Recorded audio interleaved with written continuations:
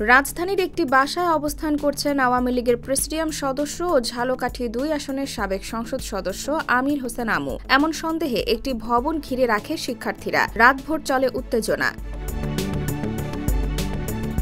রোববার দিবাগত রাত বারোটা থেকে ভোর চারটা পর্যন্ত রাজধানী বসুন্ধরার সি ব্লকের একটি ভবনের চারপাশে অবস্থান নেন একদল শিক্ষার্থী। Private university students alliance of Bangladesh নামে এক ফেসবুকের পেজে পোস্ট থেকে জানা গেছে, সি ব্লকের মাটি প্রপার্টিজে আওয়ামী লীগের আমির হোসেন আমু ও পিচ্চি শামীম লুকিয়ে আছেন। এমন তথ্যে শিক্ষার্থীরা বিল্ডিংটি ঘেরাও করে।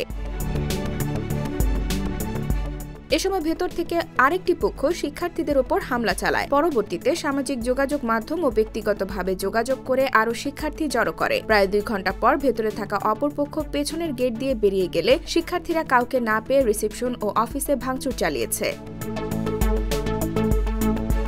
এর আগে চোদ্দ দলের সমন্বয়ক আমির হোসেন আমুর বিরুদ্ধে অস্ত্র, বিস্ফোরক ও বিশেষ ক্ষমতা আইনে নালিশি মামলা করা হয়। তার ব্যাংক হিসাব জব্দেরও নির্দেশ দেয় বাংলাদেশ ব্যাংক। একই সঙ্গে আমুর সন্তান এবং তাদের মালিকানাধীন ব্যবসা প্রতিষ্ঠানের ব্যাংক হিসাবের লেনদেন স্থগিত করার নির্দেশ দেওয়া হয়েছে। IBTV USA New York.